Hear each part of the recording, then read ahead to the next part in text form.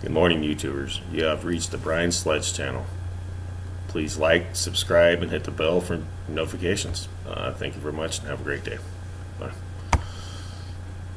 for get quick reaction is the great one, Life, Liberty Levin. We call him Mark Levin, the great one, is with us. You know, Mark, uh, it really comes down to the arguments that were made by Schumer and Pelosi. I don't mean to be sarcastic, but it looked like a Saturday Night Live opening uh, skit. Um, but especially considering Chuck Schumer in particular's past support, Obama support, Hillary support, Biden support for barriers and a wall, both Right. in 2006 and 13. But they're they're saying that this is a manufactured crisis, and they are saying that they're upset about the delayed checks to furloughed federal government employees, which I am sympathetic towards. But the president is making the case that we have Americans being victims of crime, homicide, sexual assault, other violent assaults, that we have All right. trafficking, that we have that's going across the border, human trafficking, drug trafficking. To me, it's about life and death or inconvenience. This is not manufactured. You can't tell the son of Officer Singh that this is a manufactured crisis. This is a real life and death Right. situation for many American families, and I wanted to get your reaction to Well, tonight's uh, first of all, the president gave an outstanding speech. It was concise.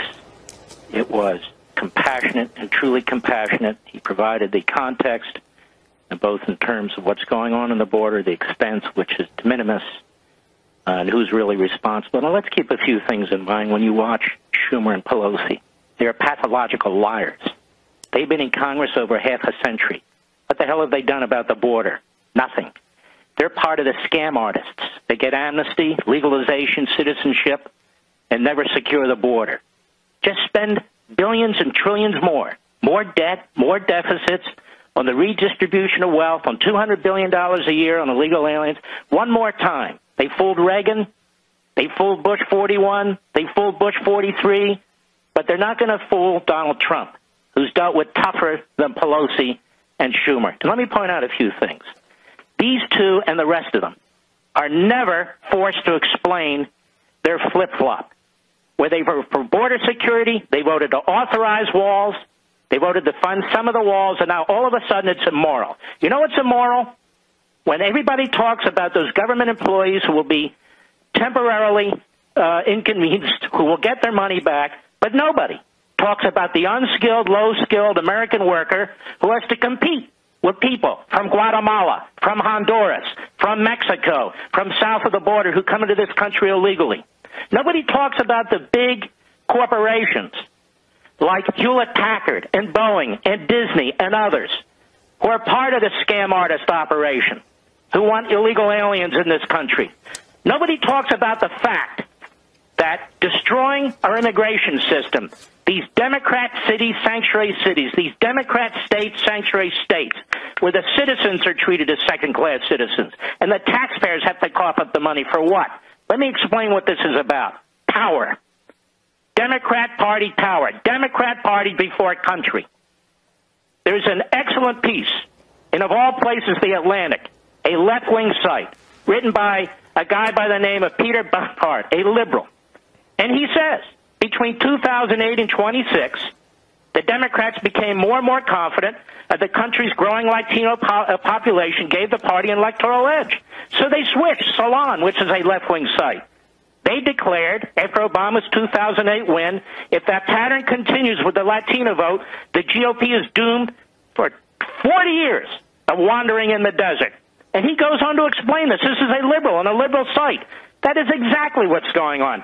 Notice Pelosi and Schumer didn't talk about the American worker. Notice they didn't talk about the communities on the border that are suffering. Notice they never talk about law and order because they hate law enforcement. They never talk about the overwhelming costs involved in health care, the overwhelming costs involved in our public schools.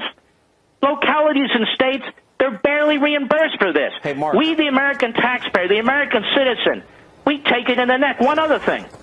The Democrat platform in 2008. Read it. Let me ask The- you, the Mark, hold on now. can. The Democrat platform in 2008 Let me- basically supports virtually everything the Republican president of the United States said today. The American people haven't changed. The Republican Party hasn't changed. The Democrats, for political reasons and power reasons, They've changed, and they want to drag us all off the cliff with them. Hey, Mark, that's a great point, and we we played their past statements many times on this program. I know you played it on your radio show and Life, Liberty, and Levin. I want to get into the issue of legality, and I, know, I saw a post that you made, and that is that the president, as the commander in chief, has the right to declare a national emergency, which would then therefore give him the funds.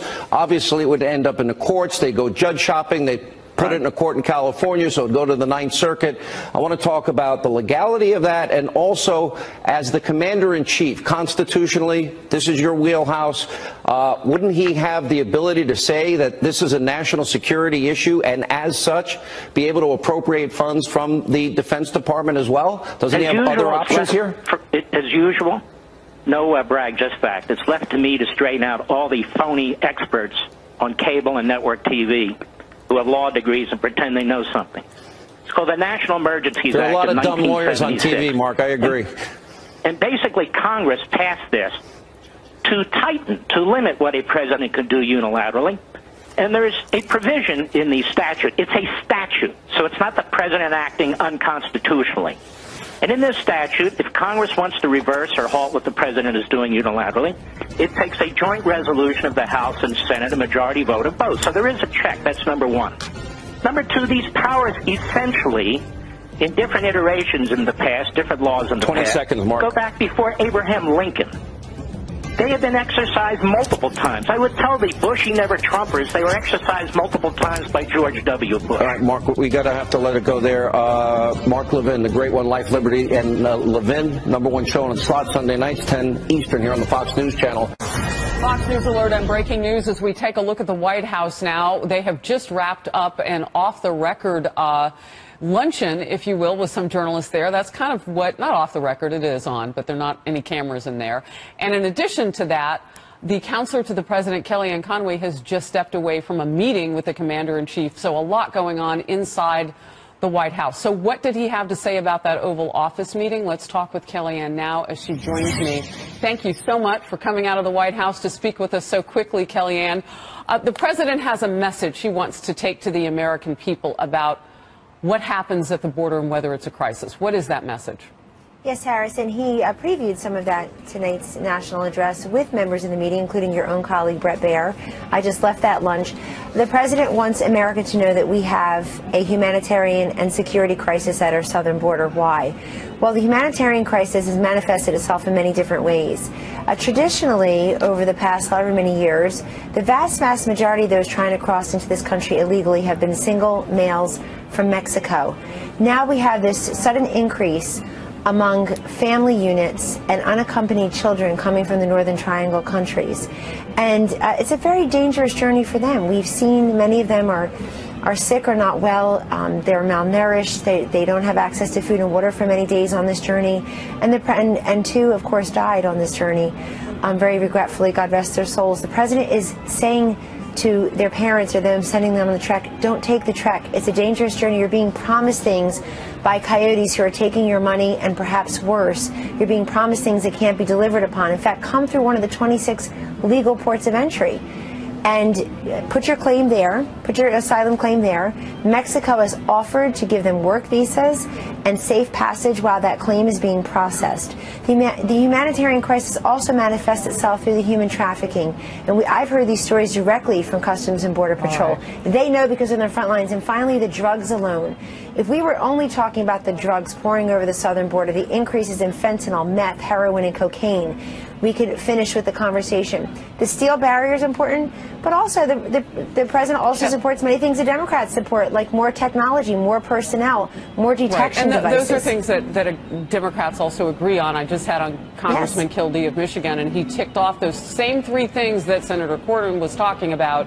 Barriers, one of those things, technology and people. I want to press back a little bit. So the deaths of those two children, they were in our care, they were in our custody. So we don't Yes. want to blur the line that this happened on their journey somewhere south of the border. No, no, that, no, no, that no. would I didn't say that, and I've said Yeah. otherwise so I just on want your to make network that, before. Yeah, I, I No, want to make there's no that clear to everybody.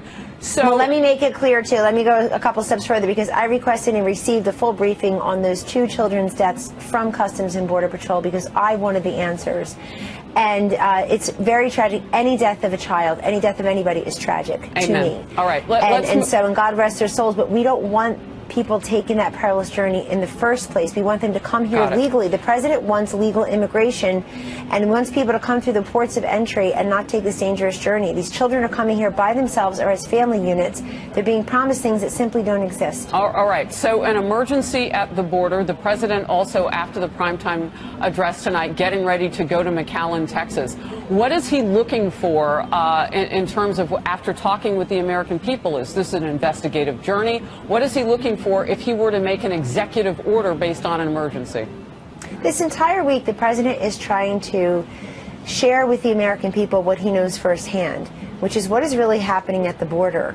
Um, the human trafficking, the drugs, the, the children that we just talked about, but also what would help deter that? What kind of physical infrastructure would help to impede and deter that so that these vulnerable populations um, can be protected on that side of the border. And frankly, the vulnerable populations here, like our children, will be protected from these drugs pouring in. I don't want them in my community coming to my kids these drugs, this poison. And so the president also will go to the border where he's been before.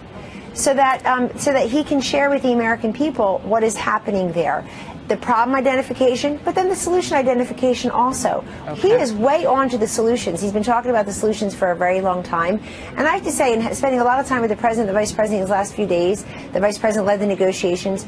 He, he is making clear that the letter that OMB sent to um, Ch- Chairman Shelby in the Senate, um, the whole back part of the whole back side of that letter, you can pull it up and publish it if you like. The whole back side of that letter are really a number of the things the Democrats want. They want the personnel, the detection devices. It's in there. Well, and as we Congressman. Kildee told me, they're not saying no to a border because you know where I started with him? Well, if you don't like a border, and if it is immoral, as Nancy Pelosi says, then tear down the other 600 plus miles. That's no, right. The Democrats are They not going to do do this. That's Look, right. I, I want to get a point in because we got, uh, and I'm sure other networks did too, the Trump Pence campaign letter that went out, PR email a little while ago, and it says that the campaign for reelection will try to raise a half million dollars in one day off of tonight's speech. I, I thought that these speeches were not supposed to be political. What do you say about that? I haven't seen that letter, and here at the White House, I'm not meant to be political, so I don't have a comment on that, but I, I haven't even seen the letter. All right. Kellyanne Conway, we look forward to carrying the president's speech 9 p.m. Harris. Eastern right on this network. Thank you for joining me today. Thanks for having me.